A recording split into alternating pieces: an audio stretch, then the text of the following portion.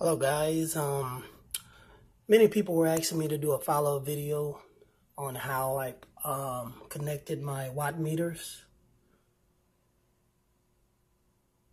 Um, in the inside of my actual circuit panel.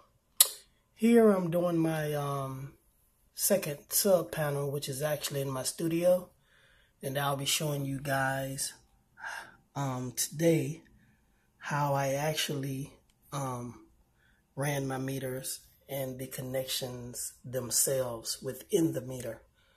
Give me one second. I'll be right back after I take the panel off. All right, guys. Um, here it is. Um, it's my secondary panel inside of my studio. Turn this light off so you guys can get a look at my readings. All right.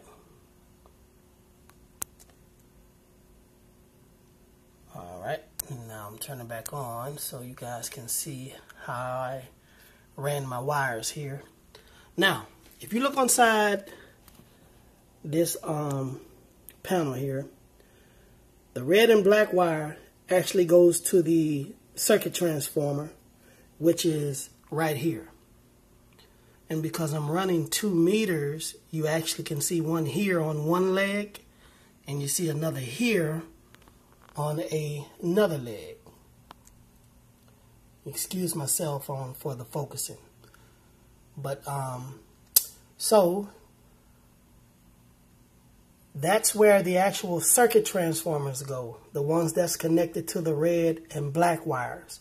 They go on your main legs that's actually um, in your panel.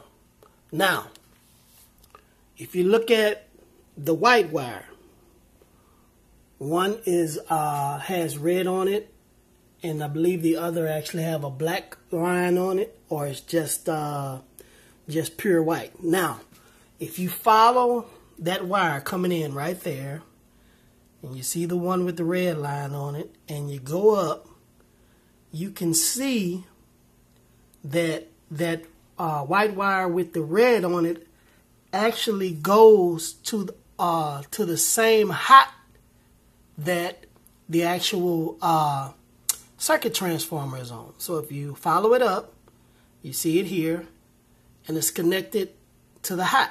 Now, all that does, all that wire does, is gives the actual uh, meter its power. And if you look at the other wire, that wire actually goes up to the common. All right? So this is what gives your meter the power. That's your common. That's your hot. And the circuit transformer goes here.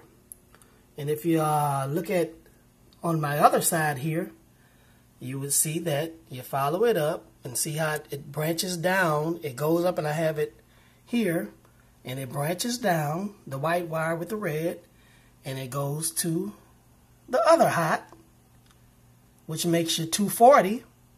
And then the other wire comes on around and it goes into the common.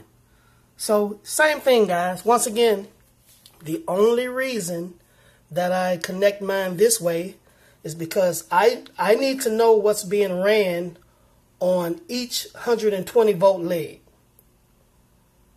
So that way when I connect my generator, I can actually see uh, and balance out my load in terms of wattage on my generator.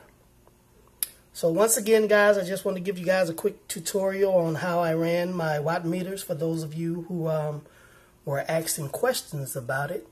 And if you have any more questions, like I say, this is my secondary panel.